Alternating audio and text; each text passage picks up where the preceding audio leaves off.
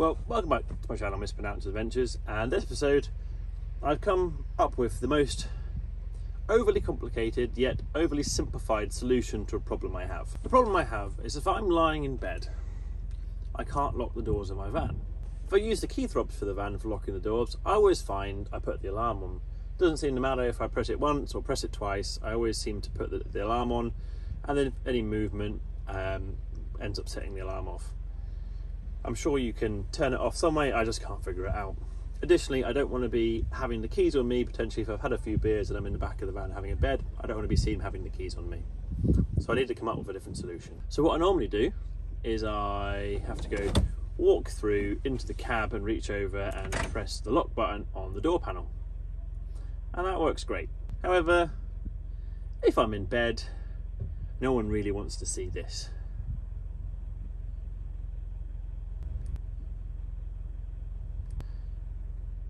So I'm going to go for the most overly simplified yet overly complicated solution for this. Turns out, not an original idea. I found out Urban Van Life has also done this. But I'm going to use something called a switchbot. So what is a switchbot? Well, this is a switchbot. It's a tiny little box which has a little arm which goes boop.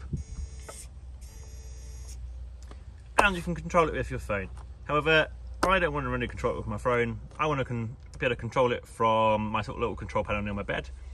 So I bought the little switchbot remote as well. So all being well, I hit that button and this goes boop. Just point out, this is not a sponsored video. Um, I wanted to buy these. If you want to buy these, you can find them on my Amazon store and I get an affiliate. Although if you want to buy them cheaper, if you go on the actual Switchbot website, sign up to the newsletter, then you can get like 30, 66% uh, off this from £30 down to £9. So here's the plan. Normally I would reach in and press this button here. Don't want to put the unit there, so, but I don't have any passengers. So I'm going to use this button here. Some vans will have a central, central one. This isn't a button, this is just a notification on the transit. And since I don't have passengers, I'm going to mount my little robot there to click the button. However, just to point out, it will only lock the van, it won't unlock the van. However, I don't need to unlock the van because you just open the doors otherwise. So I only want to lock the van. Right, let's open these up. So, SwitchBot, I went for the one in black. It's just this little tiny unit with a little arm which comes out and a little 3M sticky pad. These units, just for anyone else for different users, you can attach these little clips so also it could pull and push a button or pull a button back out. For what I want, I just want it to depress. And because I didn't want to have to use the app and I just wanted to be able to use a little remote control, I can have this little remote control mounted on the wall, so I can press that and that will tick. Since my channel is normally all about electrics, um, I could have probably found, taken apart the door card, found that little momentary switch, added a second momentary switch, ran wires all the way around the van to the very back of the van, and then put a little momentary switch there, which would have done the same thing by using the same circuit. However, one, it's a pain in the ass to now run cable all the way through the van, and playing with the van's original wiring loom does seem a bit of extra work, um, a bit more complicated.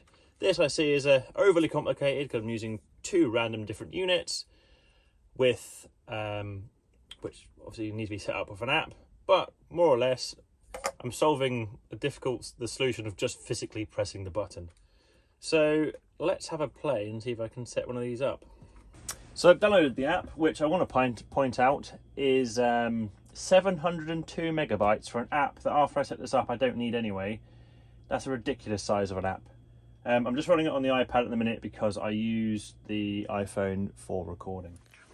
Okay, so future editing, Alex. Really boring showing footage of the app getting set up. More or less, the app just worked. Um, opened it up on the iPad. It saw both of the units via Bluetooth. I paired with them. Things I will bring up, you can lock the pairing, so after you pair it with your device, you can then type a password in so no one can connect to it remotely. Um, bits I also didn't say were you need you don't need the app necessarily after it's set up. If you buy the remote, uh, you can then pair it with the switch bot and there's no longer a need for the app. Or you could not have the remote and just use the app by itself. Uh, and the other option is you can buy their hub for their whole sort of ecosystem.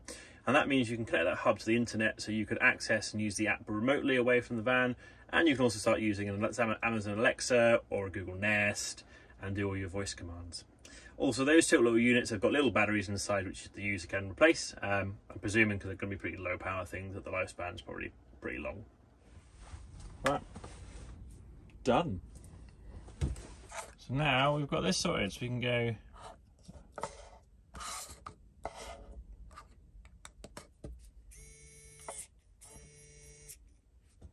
This is such an overly simplified but stupid idea.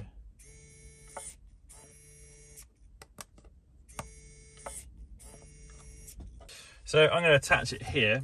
Um, I did originally want to attach it somewhere like there because it looks a little bit neater, but that's not a flat surface. Only flat surface is here, which does look like it's blocking the handle, but I can still move the handle. So I guess I'm going to stick it on there.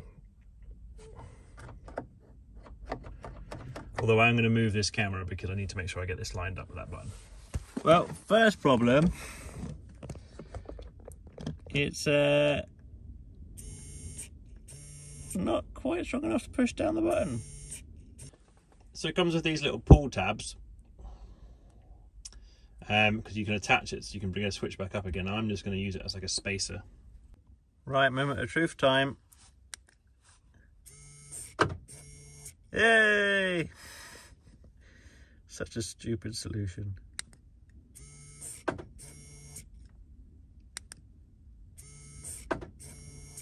So the real test is if I'm gonna, I'm gonna mount it here, is if it still works from this distance.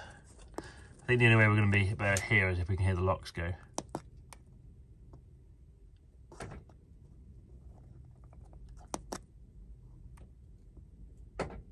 Yay! Well, that's a success. So in the app, I've also locked the SwitchBot, so no one else can access my SwitchBot because it's got a unique password attached to it. Um, and because of the way the transit's set up, the button, there's separate buttons for unlock and lock of the van so that it can only lock the van. It can't unlock the van. So no one can unlock the van remotely, which is good. And then this gets mounted uh, on the wall. That's pretty much going to end this episode. A short little episode me making something simple, overly complicated, and it sort of being a very simple solution. Yeah, if you want to buy one of those, you can find it on the uh, on my Amazon um, affiliate store. Though, if you want it cheaper, just go directly to the SwitchBot website and sign up to their newsletter, and you get a discount off buying the SwitchBot and a remote.